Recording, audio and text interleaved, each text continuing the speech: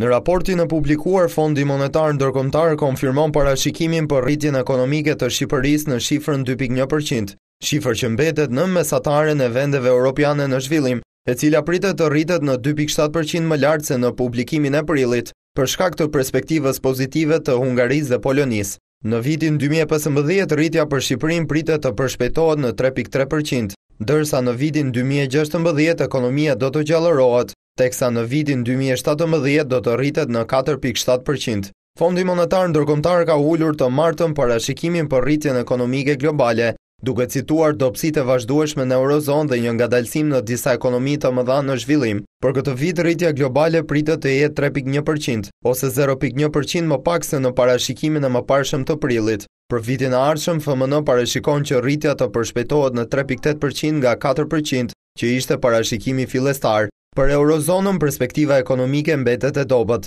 FMN ka ulur pritshmëritë për tre ekonomitë më të mëdha të eurozonës, Gjermaninë, Francën dhe Italinë, teksa për këtë të fundit fondi thotë që po shkon drejt vitit të tretë radhazi të recensionit. Ekonomia rrezikon tkurrjen e konsumit dhe kalimin në deflacion. Blanchard nënvizoi tre rreziqet me të cilat përballet ekonomia globale. Së pari, një periudhë e zgjatur e normave të interesit, që kërkon më shumë kujdes në politikat makroekonomike, së dyti rreziqet gjeopolitike janë bërë më evidente me krizën mes Rusisë dhe Ukrainës dhe së fundmi kriza në Lindjen e Mesme rrezikon shtrenjtimin e çmimeve të energjisë.